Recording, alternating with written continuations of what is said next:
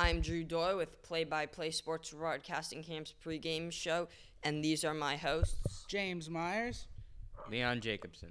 And we are covering the game with between the 2 and 10 Jaguars going up against the 5 and 7 Lions. And the big story in this game is Aidan Hutchinson trying to prove that the Jaguars should have taken him with the number one pick. So, what are your thoughts? And with eight sacks, this dude is going to get a statue in somewhere in Michigan. He played with the Wolverines and now he's playing with the Lions. This dude is going to be a Michigan legend by the time he retires, and the Jacksonville Jaguars are going to regret not taking him with their number one overall pick.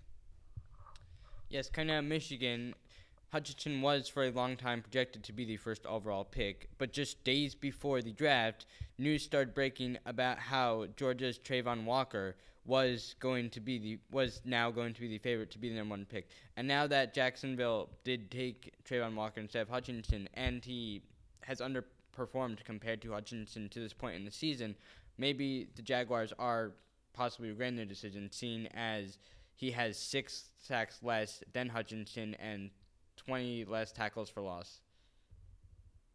Yeah, that's a lot of that's a pretty big difference between just one two picks. Jaguars could be regretting their decision, but what about um Trevor Lawrence? He has not been performing up to expectations this year. Well, you could you could also give that to the fact that it's the Jaguars, but Doug Pederson, he was able to coach the Eagles and Carson Wentz of all quarterbacks to an MVP season. Granted, they were helped by Frank Reich, I think Carson, not Carson Wentz, sorry.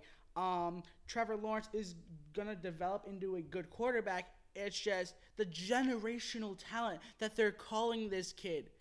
He's not a generational talent yet. I think if he is going to become that generational talent, it's going to take a few more years than expected. Yeah, with only 17 touchdowns and 9 picks this late in the season, what's going to happen to him?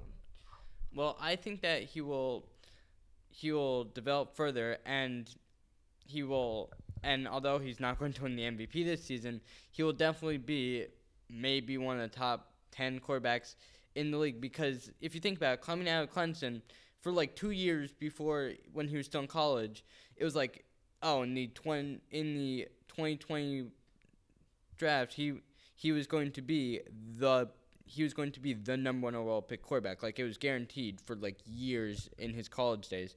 But now that we've seen him play for a few years, it, it's kind of obvious that it's it's not that he's a bad player. He's just not the number one overall guy. Like he's not John Elway. Like John Elway had the same situation, but he actually performed to that number one overall expectation.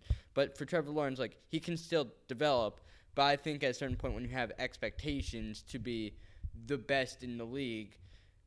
And that's just, for one, that's just unrealistic expectations. And for two, if you don't perform to that standard, then people look at you as a bust, even if you are not a bad player. And that is the situation that Trevor Lawrence is in right now. Yeah, what are your guys' thoughts on the score of this game? Is it going to be an upset for the Jaguars or a momentum builder with the Lions almost getting them to 500? I think, and this might be a bit of a hot take to the viewers out there, I think the Lions are going to blow out the Jacksonville Jaguars. I think Dan Campbell is that guy, and I think the Lions win 33 to 17.